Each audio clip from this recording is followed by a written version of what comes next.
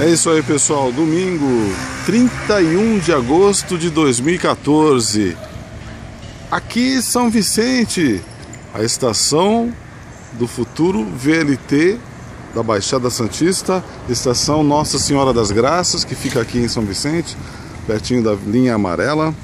E essa estação já estão sendo feitos testes aqui com o VLT. Exatamente, ontem eu vi uma matéria uma, a respeito do VLT que já está sendo colocado em testes neste pequeno trecho entre a estação Nossa perto aqui da Nossa Senhora das Graças e também ali chegando perto da Antônio Emerick. Notem ali a fiação já instalada, a rede aérea, né, como a gente fala, e os trilhos aqui do VLT. Não sei se depois se vai continuar assim, se vai ter cercas entre a, aqui a rua, né? Que está muito perto aqui, né?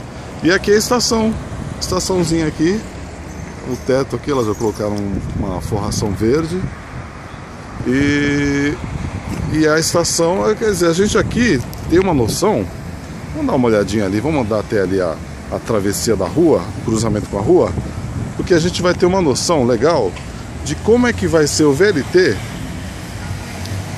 no comportamento com o trânsito da cidade de Santos e da cidade de São Vicente. Então, lógico que isso foi tudo bem pensado, projetado, né? Tem que ser, né? Porque vai cruzar, vai ter semáforos.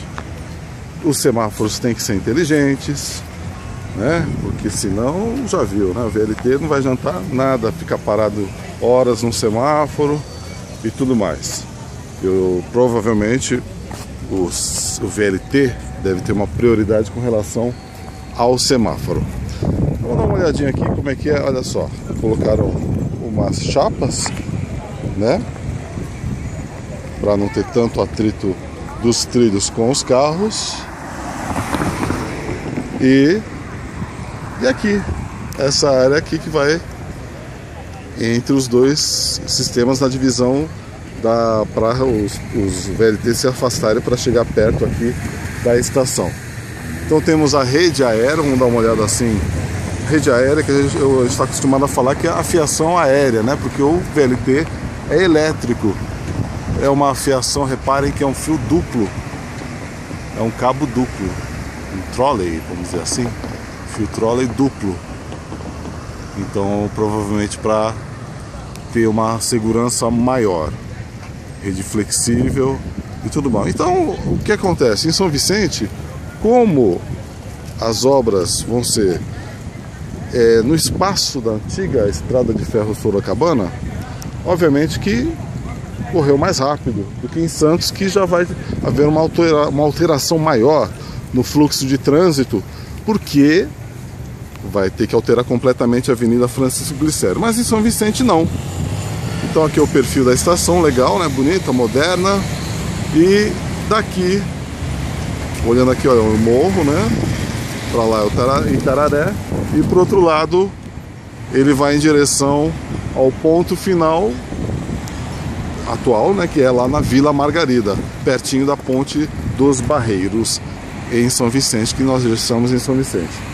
É isso aí, pessoal, um registro histórico, um registro para você ver, né? Ainda o VLT provavelmente está lá dentro daquela garagenzinha ali, coberta.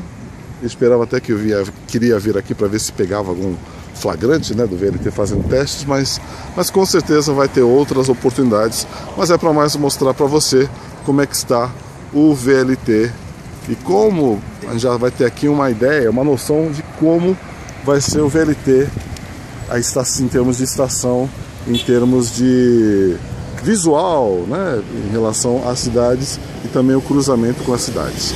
É isso aí, pessoal. Um grande abraço e até a próxima.